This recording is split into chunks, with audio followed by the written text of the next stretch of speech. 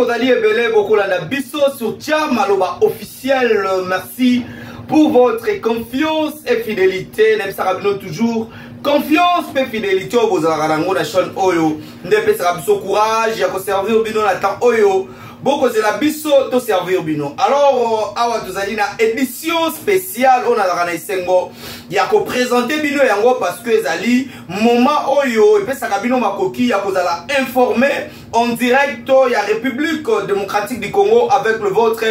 Gradi Mouya, autrement dit, le fils de la promesse. Alors, Yambo, Tokota na Mozindo, ya édition spéciale ya Mokolo Alelo, na Kobanza Bongo, na Bakongomani Nyoso ya Est, ya Mboka na Biso, boyebi ke kuna na Est, kita kita ezali, alors, na kokaka te kobanda émission to pe édition na kati ya chaîne oyo tia maloba sans que tobanza na bandeko na biso wana donc tozali de cœur na bino. E bandeko na biso ba frdc bakobunda matin midi soir mpona koinstaure kimia na kati ya mboka. Biso mpe na nzela ya baetandoike tozali wana tokobunda. Enfin ke mongongo na biso ekende bayoka mpe biso batya mpe mwa miso na bango na ngambo na biso. Enfin ke kimia ekota na mboka na biso. Alors na édition spéciale ya mokolo ya lelo toye bongo kotalisa bino compte rendu oyo elekaki bongo mokolo ya vendredi 19 avril 2024 en direct ya cité euh, de l'union africaine. Oyo tobengaka oya esika wapi mokonzi ya mboka azalaki entouré na baministre sortant oyo baza kotika pouvoir kala mingi te na mikolo ezali koya parce que tokokɔta sikoyo na eleko. Ya mama judith suminwa tuluka donc kala mingi te baministre oyo bakosede baplace na bango eloko na akosepela mpe na mama judith tuluka suminwa ezali ete asengi na ba euh,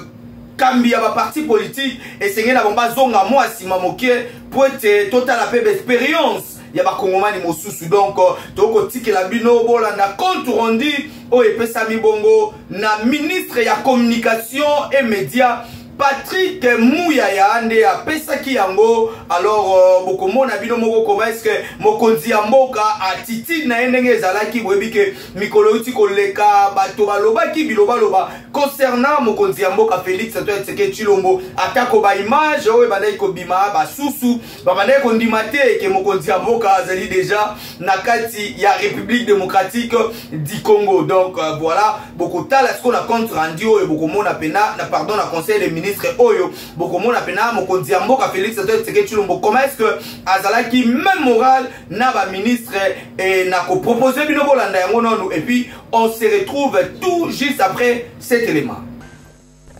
Compte rendu de la 133e réunion du Conseil de ministres. Le président de la République, chef de l'État, Félix Antoine Tshisekedi Chilombo, a présidé ce vendredi 19 avril 2024 à la Cité de l'Union africaine, la 133e réunion du Conseil de ministres. Quatre points étaient inscrits à l'ordre du jour, à savoir 1. Communication du président de la République, chef de l'État. 2. Point d'information. 3. Approbation d'un relevé des décisions du Conseil de ministres. 4. Examen et adoption de textes. La communication du président de la République a porté sur trois points principaux, à savoir 1. Des mesures à prendre pour lutter contre les catastrophes naturelles provoquées par les pluies diluviennes. À chaque saison pluvieuse, il constate malheureusement des dégâts matériels et humains de plus en plus importants suite aux éléments climatiques induits par les réchauffements de la planète. Le président de la République a évoqué notamment le cas des grandes précipitations qui ont provoqué des inondations de grande ampleur en décembre 2023 et en janvier 2024, tout comme celui où de fortes pluies et des vents violents ont causé dans plusieurs familles à travers la pluie telle qu'à Kinshasa ou encore à Kalemi, ou en réalité météorologique contre lequel l'action globale nécessite d'être intensifiée, l'importance de ces dégâts provient également de la désinvolture et du comportement répréhensible affiché par certains individus qui se distinguent par le non-respect de la réglementation en vigueur ainsi que des à l'aménagement du énergie. Les lances, ces excès nous par les déchets particulièrement des déchets plastiques, sans pour autant susciter la moindre réaction des autorités urbaines municipales. Pour le président de la République, les services publics doivent prendre leurs responsabilités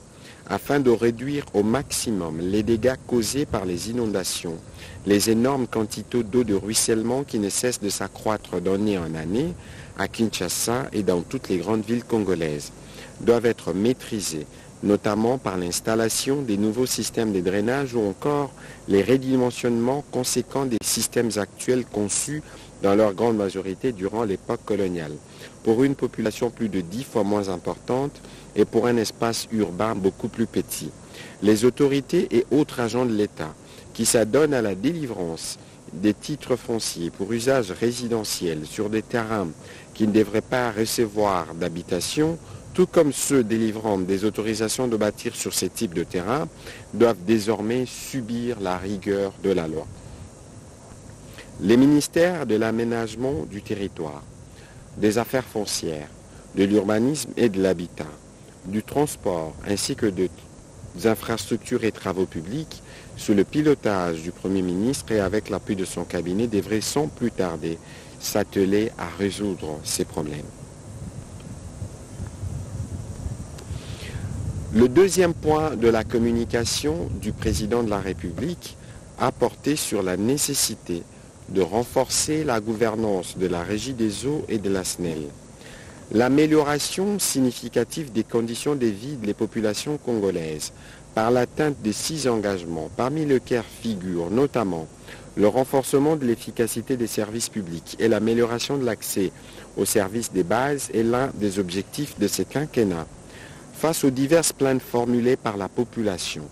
indexant autant la performance des entités en charge de la fourniture des services de base qu'elle fustige, le président de la République tient au renforcement de l'efficacité des services publics et de l'amélioration de l'accès aux services de base qui découlent du renforcement qualitatif comité de gestion, de même que l'adoption d'un mode de gestion axé sur la qualité et la performance au sein de ces structures. Faisant de la primauté de la compétence un principe intangible et inaliénable, il compte s'assurer que les mandataires publics appelés à siéger à la SNEL et à la Régie des eaux soient sélectionnés à l'issue d'un processus compétitif transparent et équitable où seuls les meilleurs profils, et ce sans aucun préjudice au principe d'attribution de sièges garantis par les accords politiques seront considérés. Il est donc impérieux pour renoncer, pour rencontrer ces objectifs plus tôt et surtout renforcer l'action publique qu'à terme les aspirants aux fonctions des gestions puissent faire preuve de compétences avérées, qu'il s'agisse des candidats aux postes actifs ou encore passifs. Le principe a déjà été mis en œuvre au niveau de la sélection du président du conseil d'administration et des mandataires actifs au sein de ces deux entreprises. Il conviendrait dès lors d'y instaurer une phase pilote d'élargissement de cette pratique aux mandataires non actifs. Par conséquent, la ministre d'État, ministre du portefeuille, a été chargée de demander au comité de pilotage la réforme des entreprises publiques copyright de présenter dans un bref délai une note conceptuelle pour la mise en œuvre de cette disposition et des projets des textes devant pérenniser cette pratique. Le troisième point de la communication du président de la République a porté sur la réglementation de l'élevage et de la possession des chiens d'attaque et des défenses. Le président de la République a été informé de la prolifération inquiétante de la possession par les ménages de certains chiens d'attaque et de défense, particulièrement ceux de type molossoïde tels que le pitbull ou encore le burbull, réputés pour leur agressivité et leur dangerosité. Ces phénomènes est d'autant plus inquiétant qu'il s'observe que ces chiens sont à première vue détenus par une population jeune et non avertie des risques et des dangers qu'ils peuvent représenter, et que bien souvent, les conditions prévalant à leur domestication, tout comme leur état de mœurs si pas sommaire, mais bâclé. Purement et simplement dit de possession cieux ou uniquement toléré au moyen d'une réglementation stricte assortie d'un contrôle obligatoire sur les aspirants propriétaires, ces chiens peuvent être à l'origine de bien de drames, souvent graves et parfois mortels. Il vous souviendra par exemple le triste accident survenu à Kinshasa le 24 février 2023 dans les districts de la Tchangou, où un enfant d'un an perdait la vie dessus d'une attaque d'un pitbull. Attaque qui en son temps avait suscité l'émoi de toute une population qui appelait à une réaction des autorités publiques demeurées silencieuses à ces sujets. Alimenté par la prolifération d'élevage non répertoriés, la reproduction clandestine et l'absence des réglementations quant à leur vente et à leur possession, la prolifération de ces chiens inquiète d'autant plus qu'elle s'est mue progressivement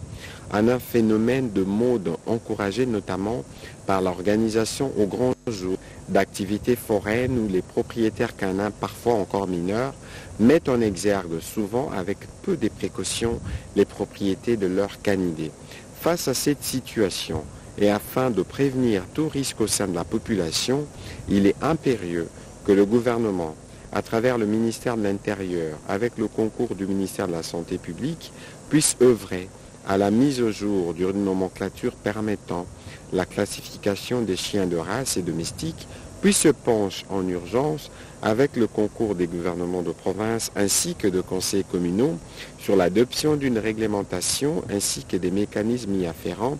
couvrant les domaines de l'élevage, de l'importation, de la reproduction, de la vente et enfin de la possession de chiens domestiques, particulièrement ceux des types molossoïdes ou encore des défenses et d'attaques. Dans la suite de la communication du président de la République, le Premier ministre chef du gouvernement est revenu sur la visite en République démocratique du Congo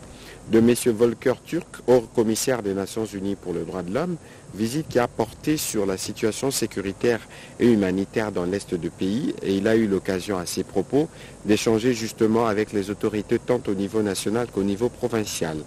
Ensuite, il a fait les points sur le suivi que le gouvernement assure sur le processus électoral, particulièrement la dernière phase qui va concerner les élections des sénateurs et des gouverneurs annoncées pour le 29 avril 2024. Le gouvernement met à disposition les moyens nécessaires pour les parachèvements de ce processus électoral qui permettra au président de la République de mettre en exécution son programme pour le quinquennat en cours. Le Premier ministre a conclu son propos en relevant un point d'alerte sur l'évolution des paramètres des prix de produits pétroliers dans les trois zones. Le ministre d'État, ministre des PME, faisant intérim du ministre de l'économie, a été chargé de suivre de près cette situation. Au deuxième chapitre du Conseil de ministres de ce jour, relatif au point d'information, le vice-premier ministre, ministre de l'Intérieur,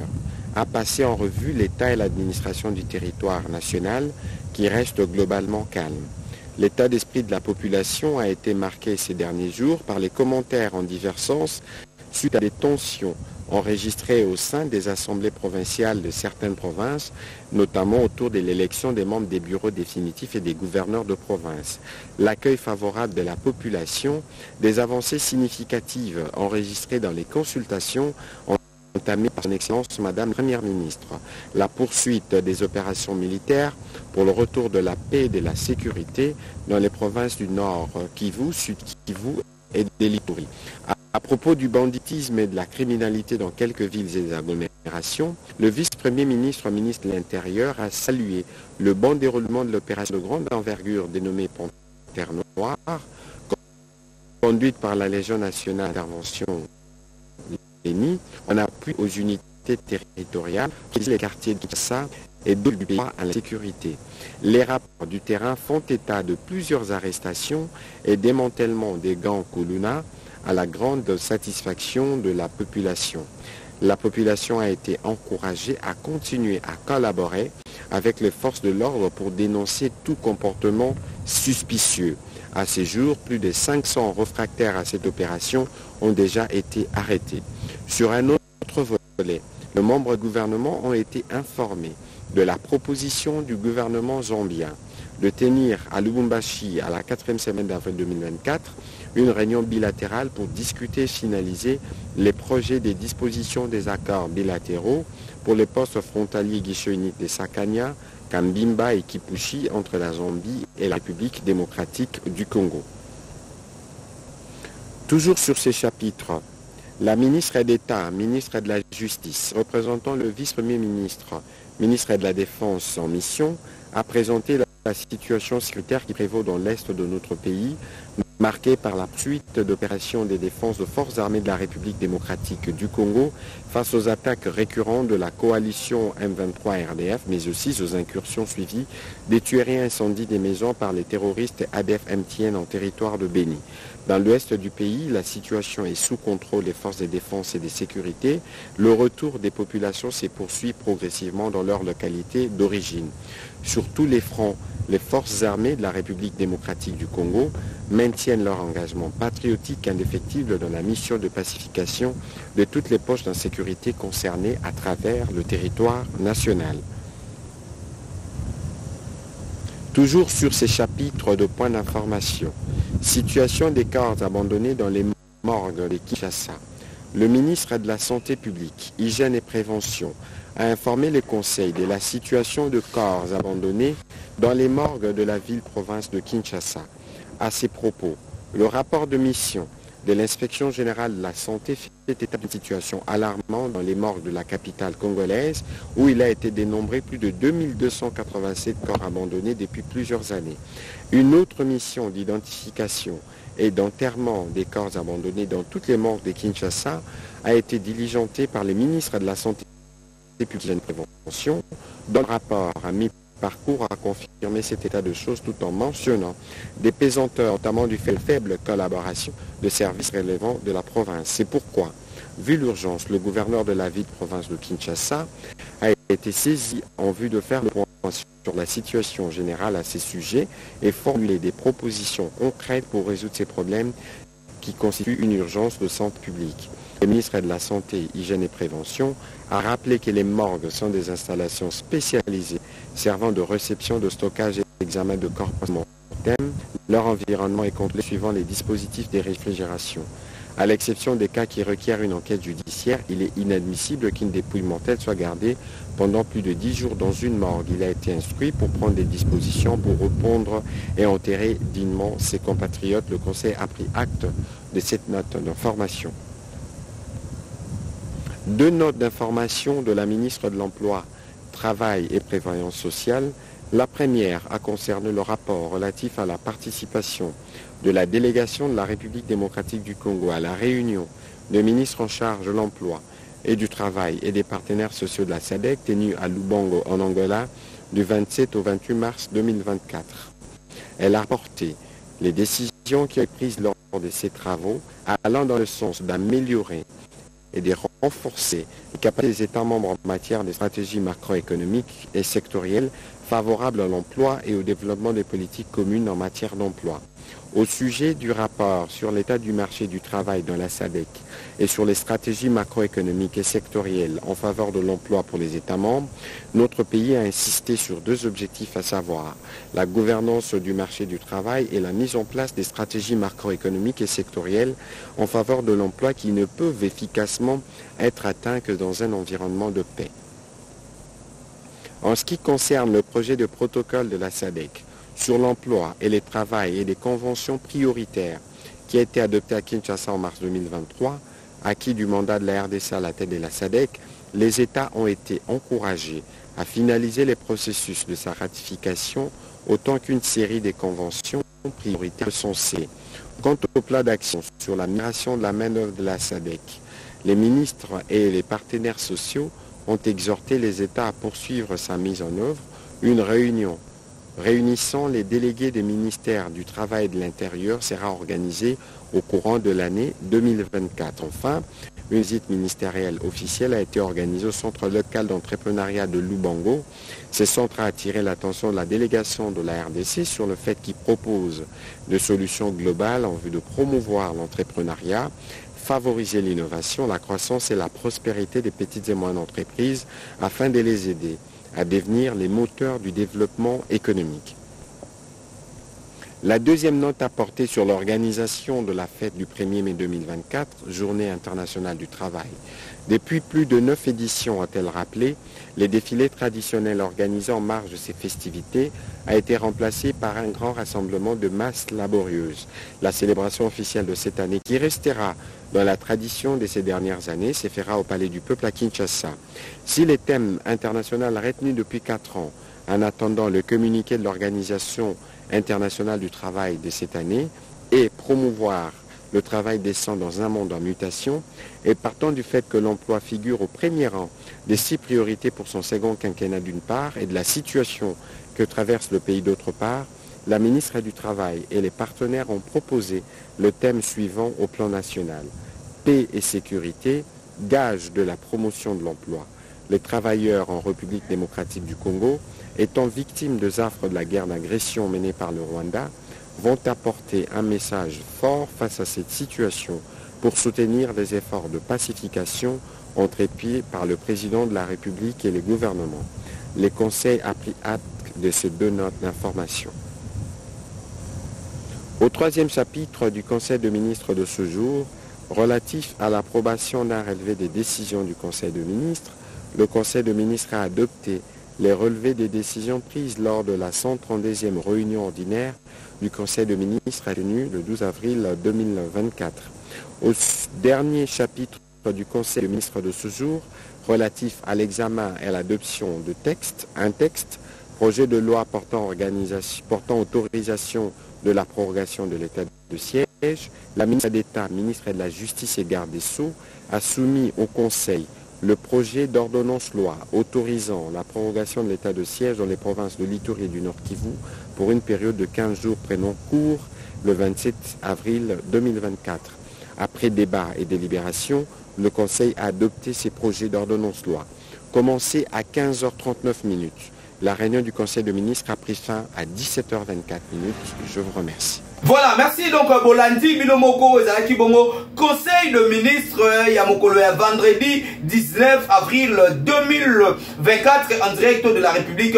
démocratique du Congo bomoni mokonzi ya mboka pe ba point oyo ezalaki traité na kati ya conseil des ministres yango. Donc par ici nde tokosukisa édition spéciale ya mokolo ya lelo kasi tokoki kokabwana bongo te. Na page rose na biso tokobanza bongo na kosouete ba joyeux anniversaire na moko oyo azali molandi monene ya tia maloba officiel na nkombo ya george matameso oyo babengaka ye le chouchou des enfants george matameso meso azali kocelebre mokolo ya lelo dimanche 21 avril 2024 anniversaire na maloba officiel tokoki kofanda kimia te toye mpo na koswete yo Heureux et joyeux anniversaire, profite bien de ton jour. Que le bon Dieu vous garde encore longtemps parce que tu as des choses à donner dans ces pays, tu as des choses à donner à l'église, corps du Christ, tu as des choses à donner aux enfants oyo bazali ndinga ndinga na yo parce que